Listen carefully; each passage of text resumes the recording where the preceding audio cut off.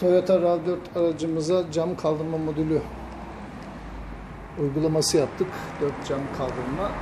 Açma yok bunda. Sadece cam kapama var. Kapılarımızı kilitliyoruz. Arka sağ cam kapattı. Sol cam. Ön sağ cam kapattı. Ve şoför camı kendini kapattı. Gayet güzel bir uygulama oldu.